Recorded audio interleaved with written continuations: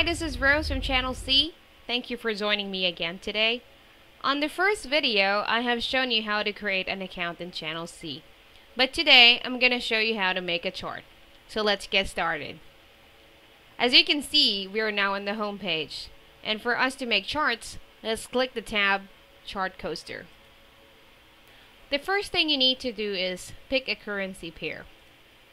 So for now, we only have Euro US dollar since we're only using a trial version. But now we are preparing more data to come.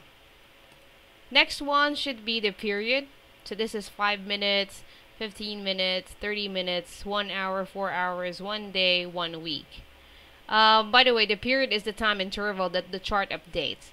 So let's say, for example, a period set to D1 or 1 day. That means that each point on the chart represents one trading day of data. And let's say, for example, we put it to 5 minutes. That means that each point on the chart represents 5 minutes of data. Okay, so let's put it to 30 minutes. Now let's pick the date range. The historical data that we have available is only from March 20 to June 20, 2013 only. Since I mentioned earlier that this is only a trial version, we are just using it for the purpose of tutorial.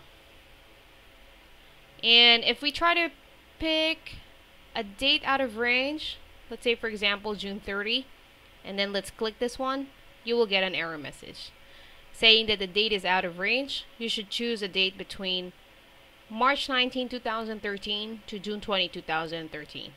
Just hit OK.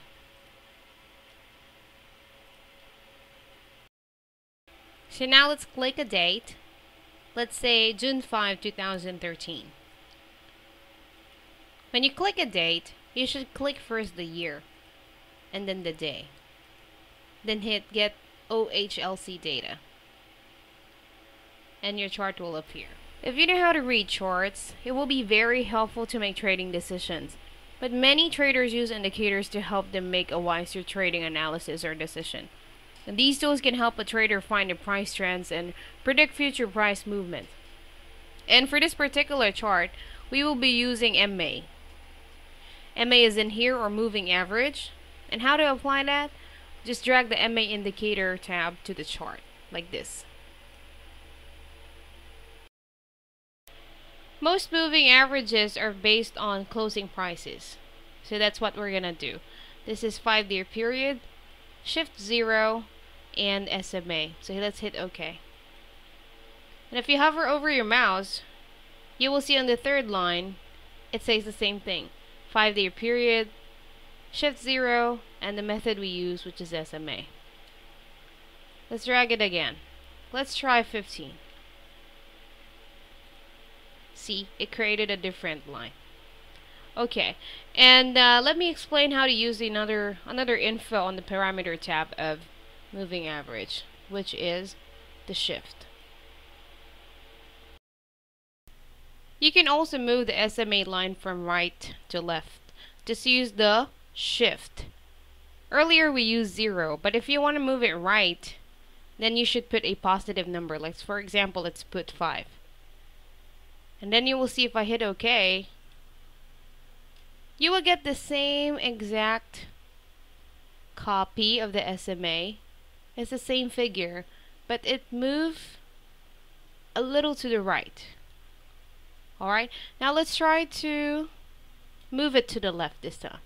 So earlier, if it's right, then we should put a positive number, correct? But if we need to get, like, if you want to move it to the left side, then let's use negative number. Let's say, for example, negative 5. Okay, see, this is our SMA line. And if, if you want to move it to the left side, we put negative 5, then it move a little bit to the left. It's the same exact SMA line, but it moved to the left. So that's how you do it. So now our chart has a lot of indicator lines. A total of four indicator lines, and it looks really messy and confusing already. So if you want to delete a line, it's very easy to do. So all you need to do is just go here to clear indicator on the upper right corner. Just click it. And then if you want to remove the last line that you input, you must click this drop down button and go to the last one at the input. So if we remove the last one, 9, and hit OK, this is the last one that we did, right? So if you will see, this will be removed. There you go. And just continue doing it. Uh, the plus 5, that's the one that we uh, input second to the last. So let's try to remove it. That is this one. Okay, there you go.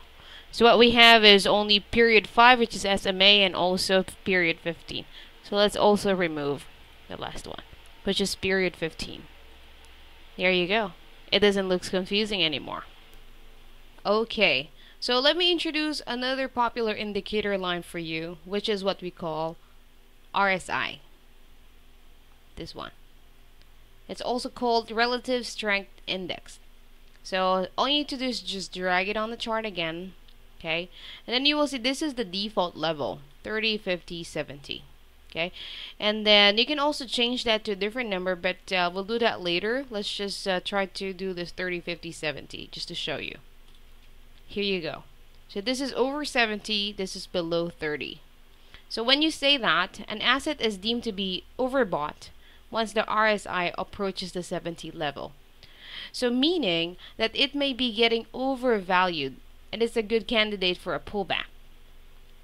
Likewise, if the RSI approaches 30, below 30, it is an indication indication that the asset may be getting oversold and therefore likely to become undervalued. You know, one good thing about this tool is that you can add more charts if you want to. It could be another indicator or the same indicators. Like this, let me show you. Uh, earlier we added RSI with uh, 30, 50, 70 levels, right? So, but this time we're going to add another one. It's the same thing, just RSI again. But we're going to change this to 40 and then this one is 60. Okay, you will see it will be added on the bottom part. Look at that. See, it's the same indicator line, but it could be added in here. All right. Another good feature of this tool is that you can make an indicator line basing from another indicator. So let's make an SMA line from an RSI. Basing from an RSI, this one. So let me drag MA. Alright, so earlier this one, this this line, this is close rate. Okay, but I want to get the SMA of this RSI. So let me pick indicator. And then this one too. Since that is the last one that we made then the position should be on the last two. Alright for reference line it always starts with 0 that's the default. 0 is 1 1 is 2 so let's click OK. There you go alright Actually, we can change colors. So let me show you how we can do that. So let me remove it. We're going to do the same thing. But always make sure that your um, screen should be on 100%. I should zoom it out to 100% because if it's on 75% or anything lower than that, the changing of color might not work. So let me show you. Let me drag it again. Let me put indicator here, same thing that we did earlier. Alright, indicator line. I wanna pick maybe pink. So do not move this black thing. You must click the color bar like that. It will move on its own. Okay, and then click. Alright, and then press OK. There you go. Shows a different color. Well, that's about it for now. I just want to show you how to make charts and apply basic indicators. And as you know, these features are really helpful for you to make wise decisions in trading. So that's why it's really important for you to know how to navigate and apply these tools. Thank you for watching. See you soon.